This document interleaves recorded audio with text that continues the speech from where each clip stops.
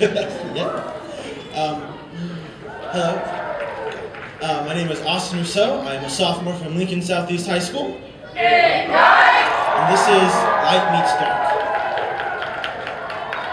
It used to be that every time I looked at you, every inch of my body would light up and I felt like I could soar like the eagles. You were my Hotel California, a shimmering in the distance I could check out but never leave.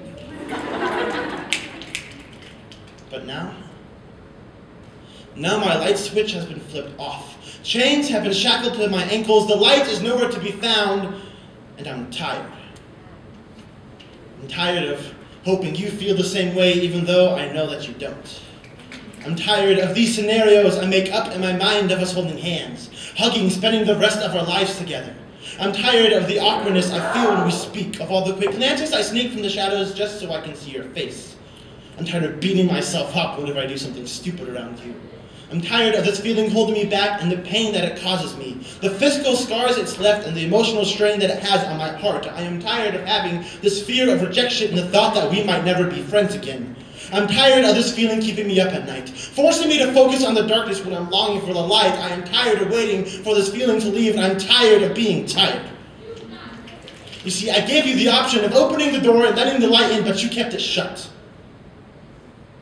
So I'm going to close my eyes and sleep.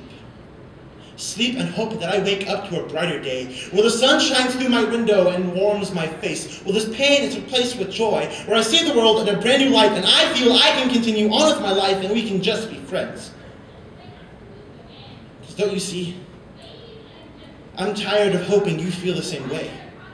I'm tired of waiting for these feelings to leave, and I'm tired of the pain that this causes me every day. All I want to do is flip my light back on, cast aside these shackles, and fly. I want to be free from you.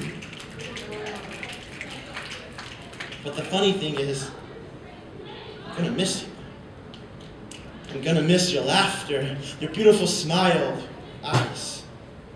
I'm going to miss the way you make me feel, just like the sun does when it shines through the trees on a cool, crisp afternoon. But you see, the sun is setting. The light is fading. It has become dark. And I'm tired of focusing on the darkness. So I guess this is good night. I guess this is goodbye.